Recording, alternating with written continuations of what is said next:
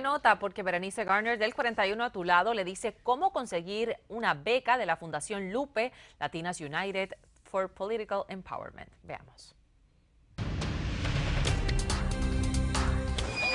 Con solo 26 años, esta hija de inmigrantes ya es una doctora. Baby looks good. De niña venía a este hospital, Yo crecí en Newark. pero nunca creyó que trabajaría en él, Nunca me imaginé. y menos con una bata blanca. A veces no me lo creo cuando me llaman por los pasillos o doctora o gracias doctora. La confidencia la encontró en Lupe, la organización que le dio una beca y la información que necesitaba.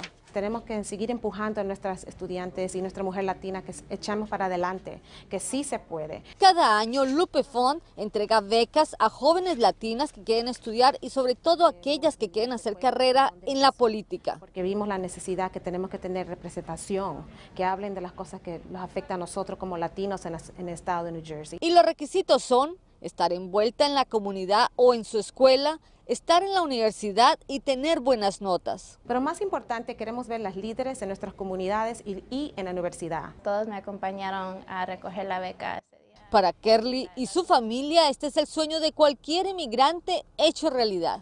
Si no fuera por ver a ellas que han logrado you know, ser abogadas, ser directoras, no creo que hubiera seguido. El plazo para solicitar la beca será febrero 28 y también necesitan compañías o personas que quieran donar para el futuro de estas jovencitas. Para más información, llame al 862-217-9755 o visite la página lupenj.org. En Newark, Berenice Garner, Noticias Univisión 41.